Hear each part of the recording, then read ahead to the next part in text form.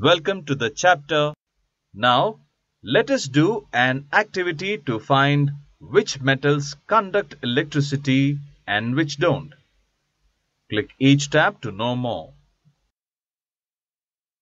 Take the circuit that we used in Activity 2 Electrical Switch. Remove the safety pin from the drawing pins. This forms the open electric switch. Repeat the activity using different materials such as pen, eraser, iron nail, matchstick, etc. Record the observations in a table. In the activity, we observe the bulb glowing when iron nail, pencil lead, hairpin, divider, piece of metal bangle are used. Similarly, the bulb does not glow when safety pin is replaced by pen, eraser, matchstick, pencil, etc.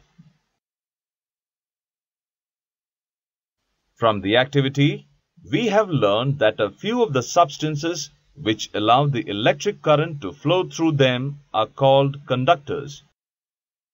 The substances which do not allow electric current to flow through them are called insulators.